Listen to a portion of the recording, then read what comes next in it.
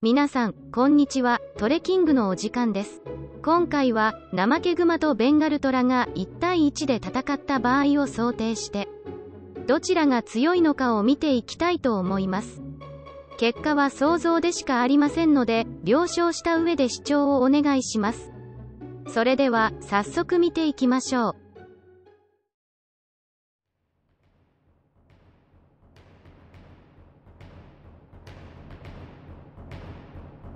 まずナマケグマですが、インドやスリランカ、ネパールやバングラデシュなどの森林地帯に生息していて、食肉目、クマ科、ナマケグマ属に分類されている動物で、ナマケグマ属というのは本種のみで構成されています。体長は 150cm から 190cm ほどで、微長は短く 10cm から 12cm 程度。体重は 80kg から 140kg ほどとなっていますが平均体重は 120kg ほどになります。また寿命は30年から35年ほどになるそうです。全身が黒く長い毛で覆われていてふさふさとしていますが首周りと後頭部の毛は特に長くなっています。また胸の部分にはツキノワグマのように V 字型のような白っぽい模様があるのが特徴になります。ナマケグマはそれほど活発ではないですが木登りが得意で長さが 7cm から 10cm にもなる長い爪を利用して巧みに登ることができます。そして爪を使って木にぶら下がることもありその姿が怠け者を思わせることからナマケグマという名前がついたそうです。ですが木登りはうまいのですが水に入ることはほとんどないようです。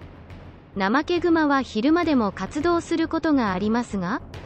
主として夜行性で昼間は休んでいて夜になると食べ物を探しに行きます。雑食性で果実や花のほか小動物なども食べますが主にシロアリなどを好んでいて長い爪で巣に穴を開けて土などを吹き払い口をストローのように円筒状にして大きな音を立てながら吸い上げて食べるようです。ナマケグマの口はシロアリなどを食べるのに適していて唇がよく動くほか上顎の前歯が2本ないので吸い込みやすい構造をしているようです。行動範囲は環境によって大きく異なりネパールでは10平方キロメートルから14平方キロメートルほどのようですがインドでは100平方キロメートルを超えるものもいると言われています。次にベンガルトラですがインドやネパールバングラデシュやブータンなどに生息していて食肉目猫科ヒョウ属に分類されている。虎の中では2番目に大きい種になります。体長は 230cm から 310cm ほどで微長は 100cm から 140cm 体重は 180kg から 250kg ほどになります。平均体重は 200kg ほどになるようです。寿命は野生で平均8年から10年ほどで飼育下では16年から18年ほどと言われています。毛色は頬や顎腹部にかけて白くそれ以外の部分が黄褐色やオレンジ色になっているほか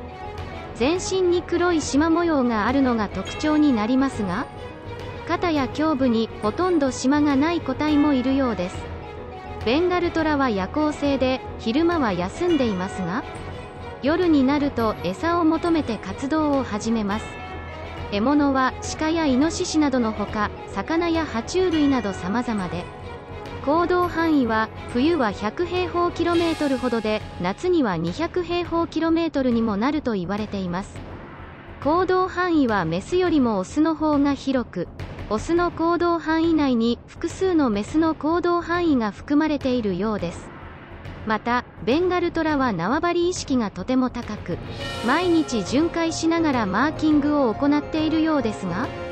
オスの縄張り争いは過酷でオス同士で戦い縄張りを勝ち取ったオスは新しい縄張りにいるメスが子供を連れていると。その子供の命を奪ってしまうそうです。とても残酷な行動ではありますがこれは自分の子孫を残すのに必要なことであるようです。ベンガルトラはナマケグマとは反対に木登りはあまりしませんが泳ぐのが得意で幅の広い川であっても泳いで渡れるため川が移動の妨げになることはないようです。両者を比較するとベンガルトラの方が体長も体重も上回っていますね。体の大きさだけで見るとナマケグマに勝ち目はないように思えてしまいますね。続いて強さを見ていきたいと思います。ナマケグマは見た目からは温厚そうに見えますが実際は攻撃的な性格をしていて前足には 10cm にも及ぶ湾曲した鋭い鍵爪があるほか鋭い牙も持ち合わせています。また全身を覆う長い体毛や皮下脂肪によって耐久力や防御力も優れています。実際に自分よりも大きな虎に襲われるという事例がありますがナマケグマは全く逃げようともせずそれどころか積極的に反撃して虎を撃退することに成功しています。主食がシロアリということもあり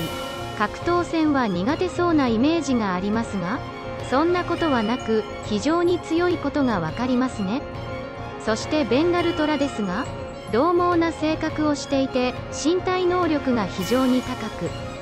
跳躍力は5メートルから6メートルほどにもなります。また鋭い鍵爪があり剣士も6センチメートルから8センチメートルと非常に長く光合力は 350kg ほどもあるそうです。そして力もとても強く 180kg ほどある牛を引きずることもできるといいます。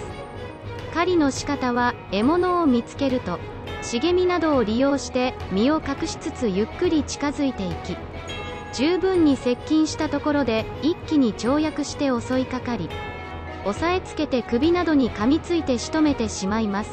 獲物は鹿やイノシシ以外にも時にはガウルや水牛なども倒してしまうというので非常に強いことが分かりますね。それではこの両者が1対1で戦った場合を想定していきたいと思います。体重は平均体重でナマケグマは 120kg ベンガルトラは 200kg で逃げ場のない場所での正面からの対決で想定していきます。まずベンガルトラの方が体重が 80kg も重いので体重だけで考えると圧倒的にベンガルトラが有利でしょうか。先に攻撃を仕掛けるのはおそらく体格で勝っているベンガルトラになるかと思います。ゆっくりと近づいていき手の届く距離まで来たところで前足を使ってナマケグマを殴ったりまたは体を起こして2本足で立ちそこから体重をかけて前足で押さえ込み噛みついていく。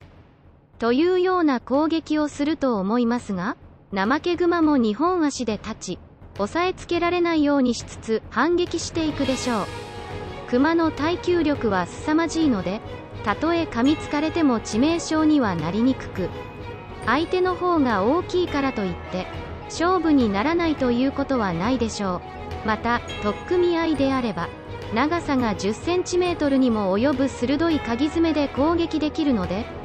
一方的に攻められるというような流れにはならないと思います。ですがやはり体重差が大きいのでナマケグマがベンガルトラに勝つというのは難しいと考えます。逃げるという選択ができる状況での対決であればベンガルトラに深手を負わせて追い払うという勝ち方もできるでしょうが逃げられない状況では一方的ではなくとも怠け熊に勝ち目はないかと思います。結論としては怠け熊がベンガルトラを仕留めるというのは難しく逃げ場のない対決ではベンガルトラが勝つという結果になりました。今回の動画はいかがだったでしょうか？結果は私個人の考えでつけていますので、別の意見などありましたら、ぜひコメントしていってください。この動画が面白いと思ってくれた方は、チャンネル登録と高評価をよろしくお願いします。それでは、次回のトレキングでお会いしましょう。